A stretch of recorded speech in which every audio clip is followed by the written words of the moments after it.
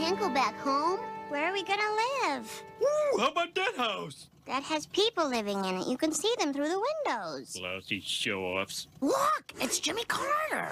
Could you build us a house, President Carter? We can't go back to ours. I'm sorry. These are for the truly needy. Yeah, get your own habitat. Come on, Carter. Build us a house, you lazy bum. You have offended me, sir. I challenge you to come back here. Why, you yellow-bellied?